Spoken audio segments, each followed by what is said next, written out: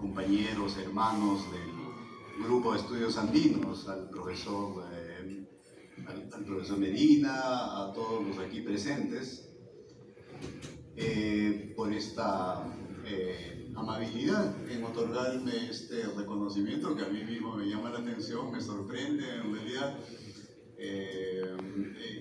Y, lo atribuyo enteramente a la amabilidad de los compañeros, de los hermanos.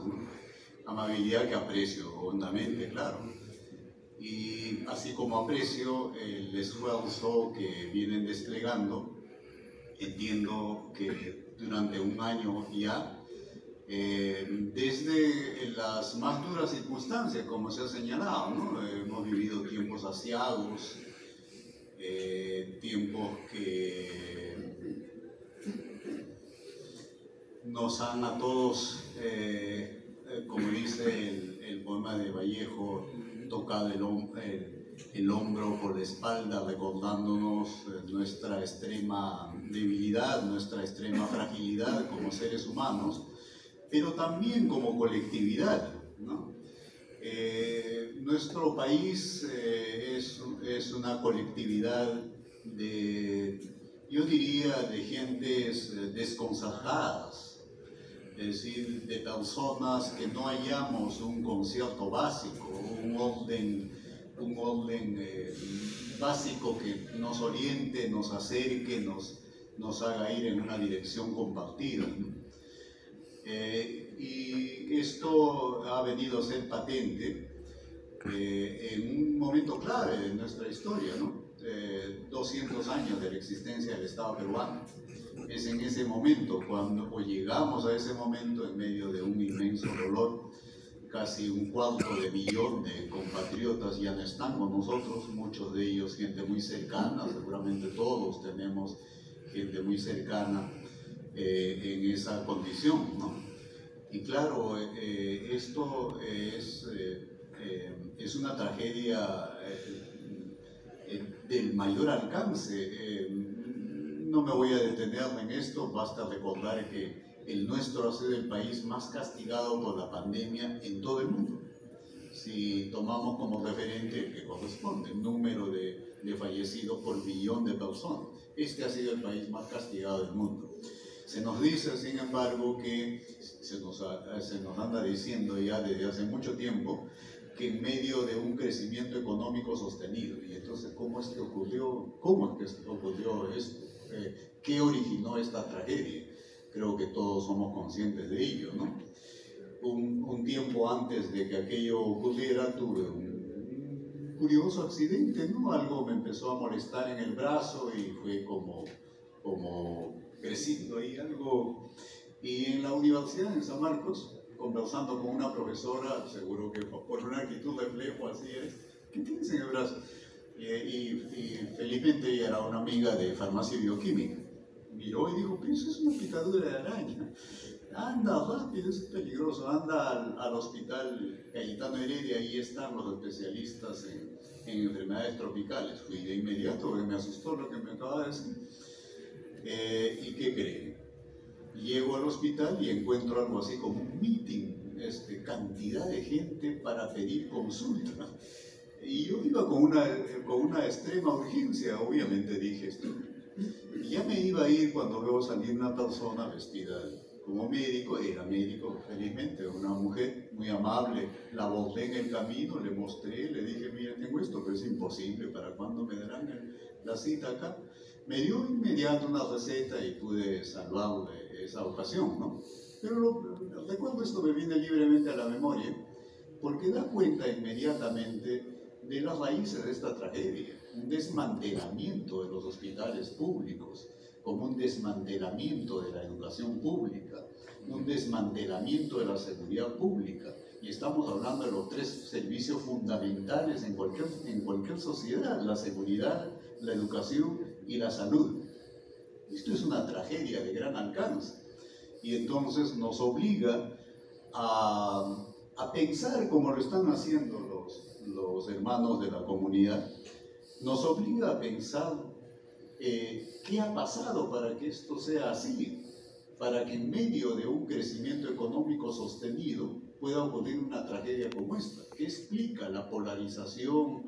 ¿Qué explica los niveles de exclusión, de menosprecio que hemos podido ver en el, en el último tramo de, de, nuestra reciente historia? Eh, y entonces creo, como, como creen los eh, hermanos de, la, de esta comunidad, que esto tiene que ver con que nos hemos puesto de espaldas en algún momento, sospecho que de, hace unos cinco siglos ya, y por lo mismo creo que estamos cerca a un momento, un aniversario de mayor importancia, lo digo con toda franqueza, que el bicentenario de la República.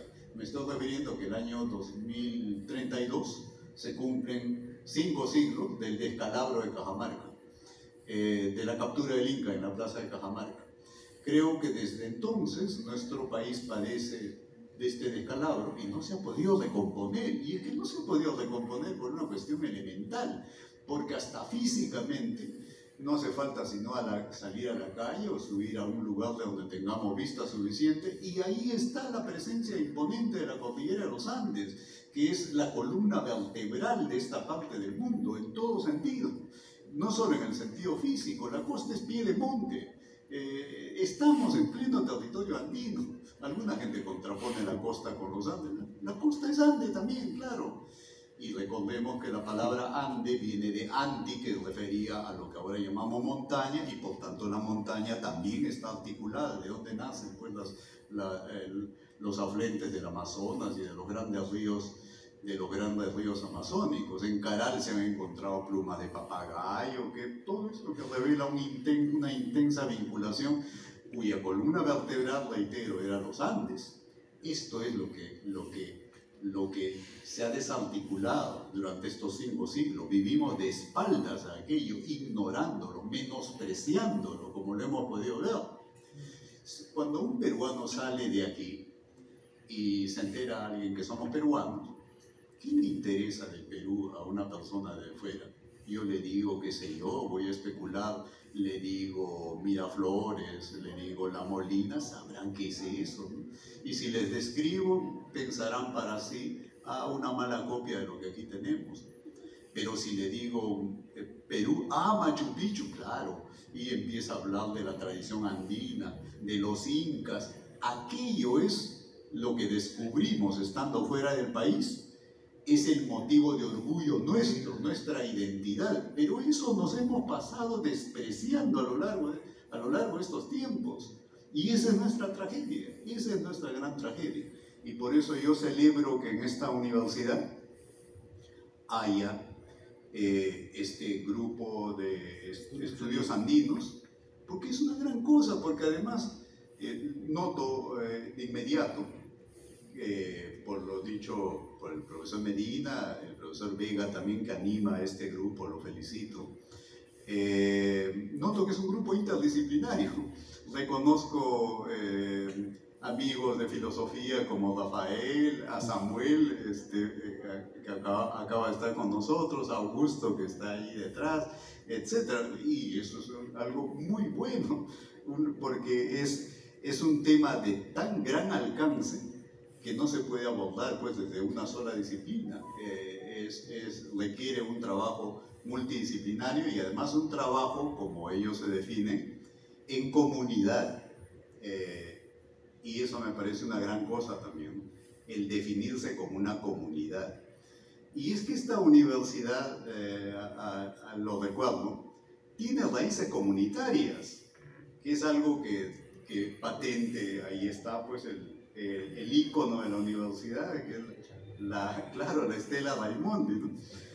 Eh, esta universidad surgió eh, como una extensión de una curiosa universidad en el Perú. Se llamaba Universidad Comunal del Centro del Perú.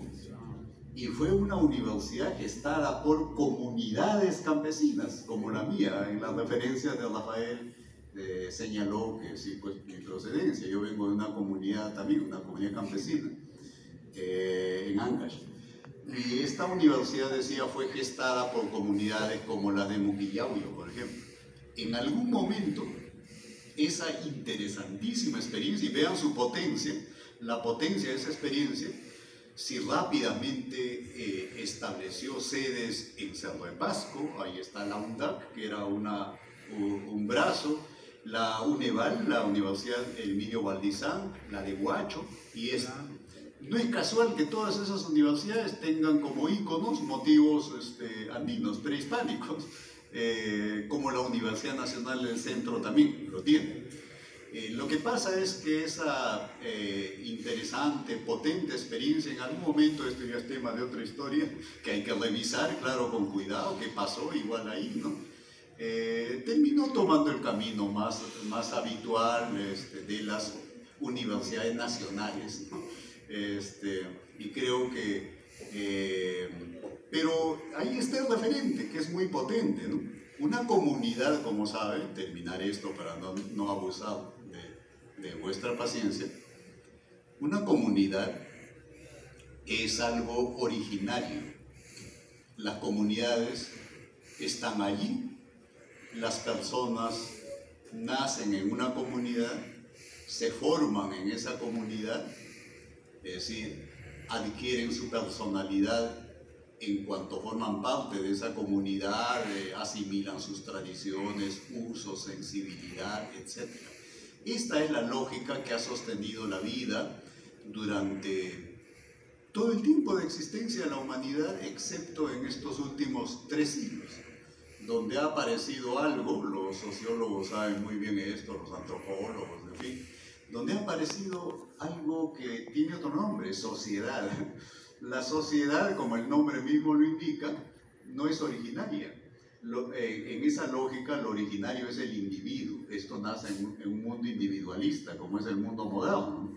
Se supone que lo originario son los individuos y los individuos, que además se definen como egoístas calculadores, está la teoría de Hobbes, la de Locke, la de toda la teoría política moderna, que eh, señala el nacimiento de la sociedad en un contrato, en un contrato social. Los individuos han entendido que en vez de andar agrediéndose entre ellos, mejor se asocian y entonces nacen las sociedades.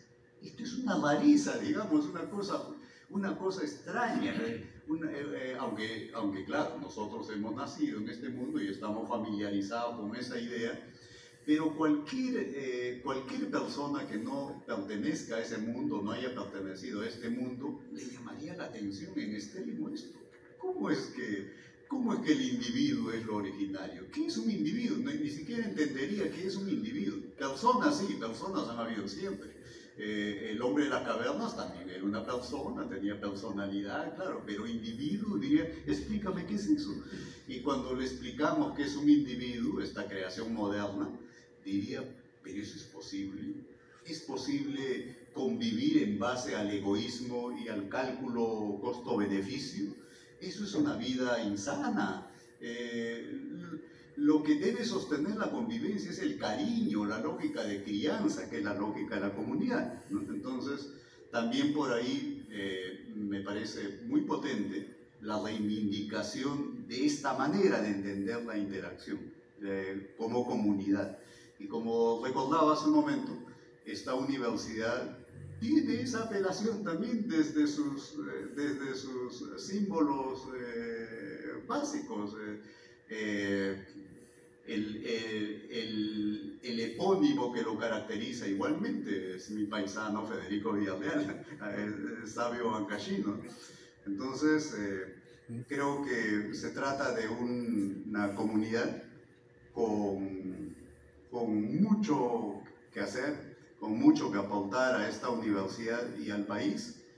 Y, y ya este, me, me, permito también eh, eh, sentirme convocado a la comunidad y ponerme enteramente al servicio de lo que, de lo que esta eh, eh, comunidad pueda requerir de mi parte, como creo que será el caso de todos ustedes también, eh, reparando en la valía que tiene esta iniciativa. Ya quisiera yo que haya algo así, un grupo de esta naturaleza en San Marcos. Rafael hizo mención a que a que yo hago parte también de, una, de un grupo y que también se define como comunidad. Eh, em, pero no, no, es, no surgió en la universidad. Hemos, eh, hemos tenido, y sí, claro, la gente que le dio nacimiento era fundamentalmente gente de San Marcos, pero lo hicimos fuera de la universidad, porque la universidad, como se diría coloquialmente, andaba en otra cosa. Este, y bueno, pues no vamos a perder el tiempo insistiendo, etcétera. Yo eh, por eso celebro que aquí sí, institucionalmente haya surgido algo así y le deseo larga vida. ¿no? Y a ustedes muchas gracias por la amabilidad. Eh, muchas gracias.